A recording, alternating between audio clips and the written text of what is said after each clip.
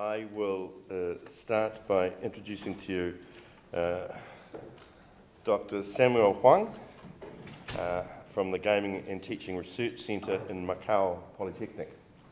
And uh, he is going to uh, give us a bit of an update on responsible gambling policies and practices in Macau, uh, where he teaches in the Polytech in the tourism and gambling operating area. Samuel. I will give you a wave when you have five minutes left. Okay, thank you. Thank you. I can stop anytime uh, as your request. Uh, first, good morning, everyone. Thank you for to be uh, part of this uh, this uh, uh, this concurrent session. I'm Samuel. I, what I would like to talk about the de recent development uh, in Macau regarding responsible gambling policies and practice. Frank speaking, I don't like to talk. I like to uh, conversation. You can uh, stop me anytime if you like. okay, here, I like, uh, uh, by the way, any one of you uh, have been to Macau? Ah, okay, some, thank you. Many of them Many of you haven't been to Macau. I will give a very, very brief uh, introduction about Macau is a very, very uh, small city, uh, only 30 square kilometers with a little bit more than half million population, quite small, okay? And however, gambling has been in Macau for more than one and half century. Actually, uh, we could say gaming has been in Macau since the birth of Macau as a city. Uh, for we could be traced back to the 16th century. Uh, however, it was formally legalized in 1847. So since then, you know, one, uh, 100 and uh, almost 170 years passed. In these 170 years, generally, Macau gaming, particularly casino, has gone through three, basically three stages. stages. First phase is market, a free market approach. The government took the free market approach. In 1930s, around 200 Fantan stores, 200 gambling shops were there in a very small city. But at that time, the government changed. The government would like to get more tax. So the government uh, offered bid for single permit, monopolized concession. So uh, before 2002, there was, there, there was only one casino operator. But from 2002, the government at the beginning offered three permit and then allowed each permit to have uh, some kind of sub permit, okay, sub concessionaires. Currently, there are six casino operators. Of all of the six casino operators have, uh, has been going public. They are public listed companies in Hong Kong, okay? Uh, Macau has been, had been a very small city and has been a very small city, but the, the, the gaming industry has been, uh, has been developed very, very quickly. I would like to give you a very a little, uh, little data on that. Just uh, 12 years ago, 2002, Macau's gross giving, giving uh, gross gaming revenue was only 29% of Nevada and 60% of the Las Vegas Strip. However, maybe just uh, because introduction of uh, competition, uh, in 2006, its gross gaming revenue exceeded the Las Vegas Strip, and the whole state of Nevada in 2008. Just last year, its gross gaming revenue is 45.2 billion. It's, it's, a, it's seven times the Las Vegas. It's quite big compared to a small city with only half million people. Currently, Macau has 35 casinos, almost 6,000 gaming tables, uh, 13,000 slot machines. It's true, Macau ha also has other gaming opportunities, such as horse racing, uh, dog racing, sports betting, Chinese lottery, but all of them are very small. They put together, their revenue is only 0.3% of gross gaming revenue. Okay. As I mentioned, Macau, the gaming has been in Macau for centuries, but the pathological gambling or problem gambling issues has not been given any attention until 2004 or 2005. In 2005, Chief Executive Annual Policy Address, this is, you know, Macau is a city. The, the top leader is uh, Chief Executive. He gave uh, annual policy address, okay? So this is some kind of guideline for annual policy. Just in 2005, the pathological gambling, problem gambling issue was first mentioned, was first mentioned. And since then, the government gradually put more and more effort, more and more resource to address the problem gambling and responsible gambling issues. Okay, and the Macau just uh, in 2008, they still in its uh, in the in the chief executive annual policy address, the government promised Macau will follow will promote the responsible gambling following the international best practice. But frankly speaking, it's difficult to define the international best practice. Okay, now I move on the, the, the regulation uh, structure re, uh, responsible uh, uh, with regard to responsible gambling. I would like to mention three points. First, the age restrictions. In uh, following the law number 10 uh, slash, uh, slash 2012, the only adult with uh, 21 years old or above can enter casinos. Before that, uh, it, it was 18 years old. So it's a way to prevent the youth gambling, okay? The second is, just in the same law, the self-exclusion program was officially introduced. What I mean in officially, self-exclusion program exists before that. It was introduced by casino operators and the gaming authorities, but no regulation on that. But according to the law, uh, just in 2012, the new law gave clear regulation. That means uh, at the moment, the self-exclusion program only applies to casinos. And also, it's actually, when we talk about self-exclusion, it seems not same in different countries. To my knowledge, for say in, uh, in uh, Canada, if you apply to self-exclusion, you cannot enter the property, the property. However, in Macau, it's only applied to casino. If you apply to self-exclusion, you still can, can stay in the hotel, uh, to go to the restaurant. This, this is quite different. And also, as I mentioned, there are 35 casinos. You can apply for partial exclusion. That's meaning if you happen to work in one casino, you can exclude yourself from all the other casinos. That's meaning you can still work in casinos, even if you apply for self-exclusion. And it can be applied by the problem gambler or their family members.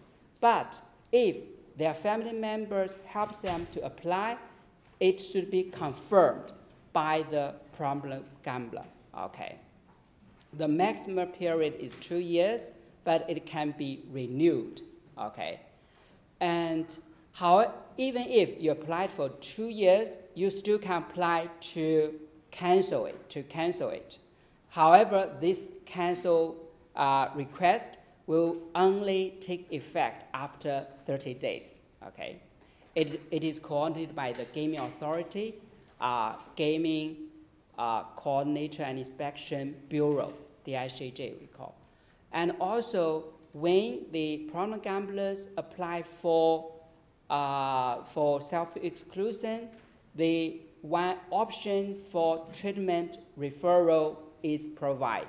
That's meaning unless they refuse to be referred, they will refer to the treatment center. Okay. And to my knowledge, uh, uh, the self, the official uh, or formally self-exclusion program uh, started uh, November 2012, 2012 uh, uh, one, uh, around one and a half years. I guess around 300 applicants up to now, around. This is a rough number. Not many people applied. Okay. The third uh, reg, uh, RG relevant re regulation I would like to mention is responsible gambling guidelines for casino operators. Also, in 2012, uh, accompanying the new law, the DICJ issued re the responsible gambling guidelines to casino operators. I think it's quite important give detailed guidelines uh, for, say, the responsible gaming training, uh, wellness, and referral, and also each casino operators are requ is requested to have dedicated RG coordinator. So at least there are someone in each of the casino operators they, who is responsible for these policies. And also they are requested to report, to report to DICJ every year. So they need to show uh, some progress. They are expected, at least, they are expected to show some progress each year. Hopefully, they will. Uh, this is the regulations. Now I move on to the governance. Uh, as I mentioned, Macau is a very small city and it's one part of China, but it is special administrative region. Okay. And what do we mean special administrative region? Macau, uh, it was a Portuguese colony after handover in, two, in uh, 1999, and the central government gave uh, Macau SAR a high degree of autonomy. And the policy of one country, two system formula, the central government is only responsible for Macau's defense, foreign affairs, while Macau maintains its own legal system, police force, motor system, customs policy, and immigration policy. As maybe everyone already know, mainland China prohibits casino gambling. Okay, there is no casino legalized at least uh, regulated casino in mainland China. Macau is the only city where casinos are legal, regulated casinos are available in Great China. Okay. It's true the central government say Macau enjoys a high degree of autonomy. However, around 6% of tourists are from mainland China. And some estimations say maybe more than 80% of gross gaming revenue comes from mainland Chinese tourists.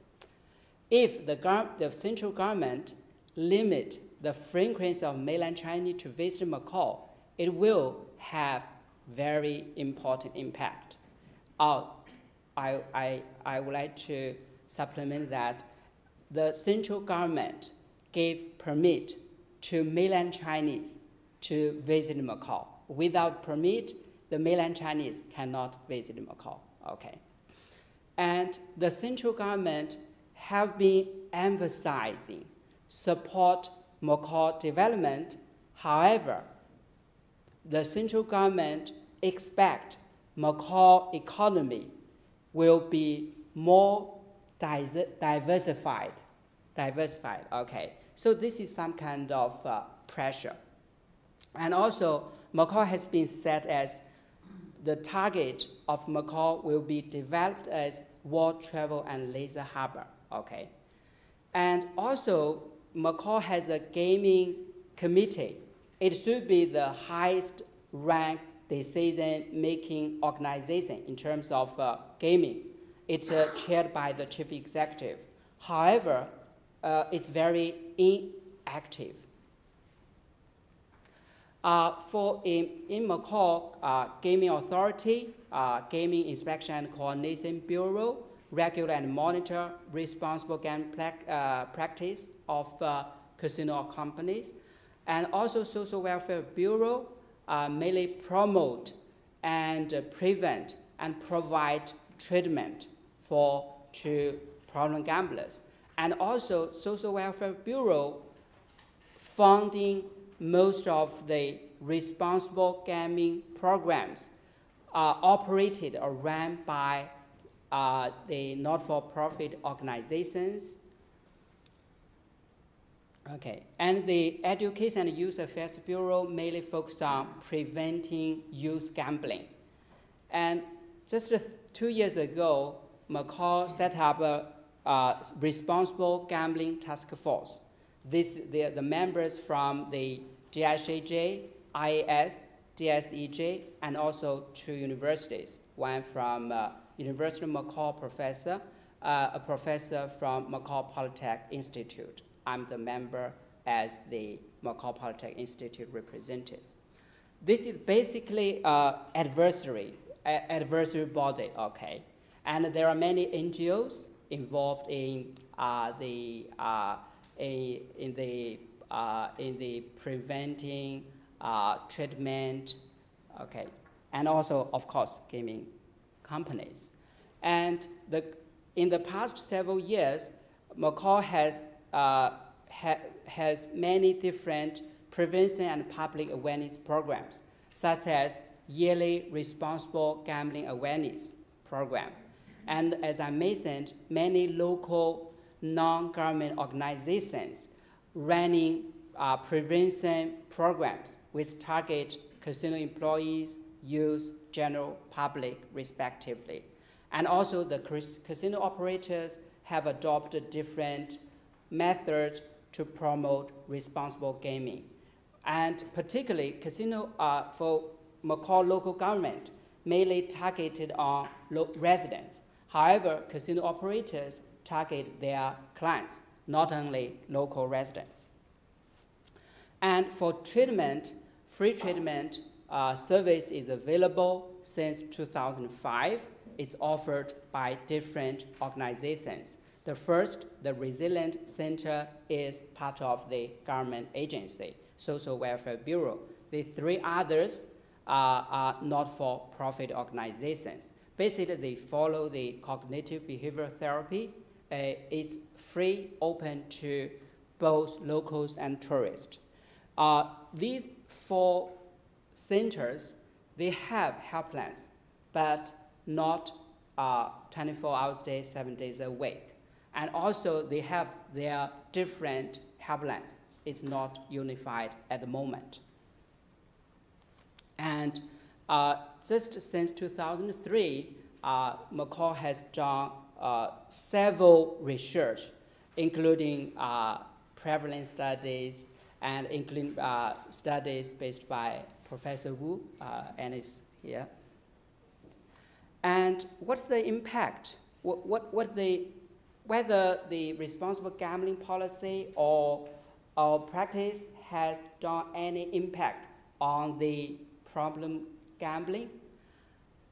I, well, I think basically, based on the data I have, we could say yes.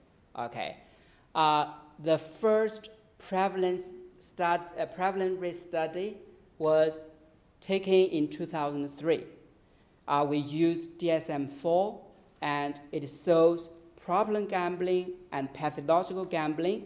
The last line, the last line, problem gambling and pathological gambling means three out of 10 uh, items.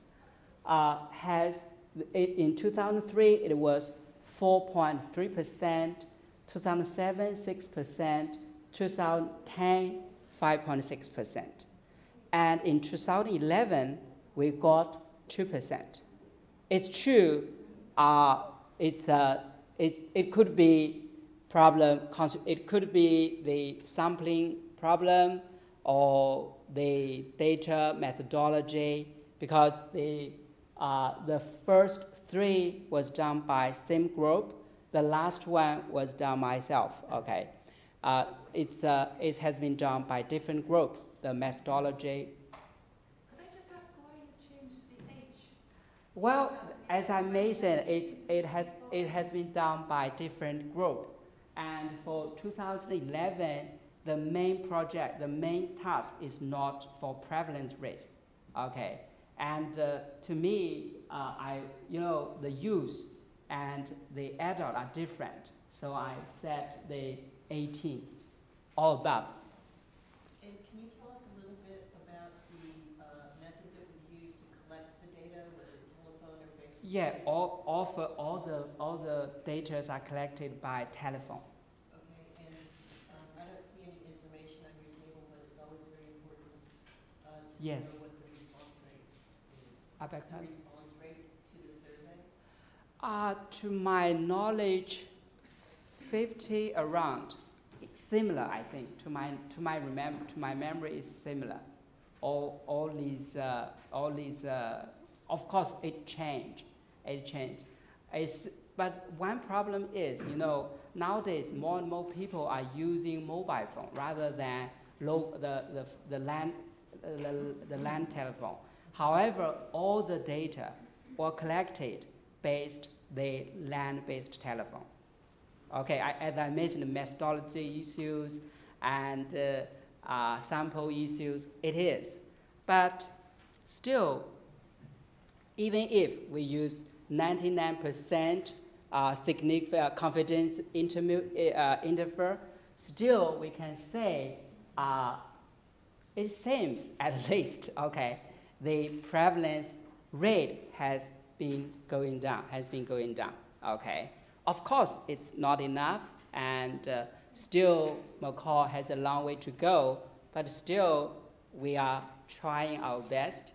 It's true, uh, frank speaking, Macau, as I mentioned, the gaming industry is dominant, is dominant, and it's very difficult to change anything.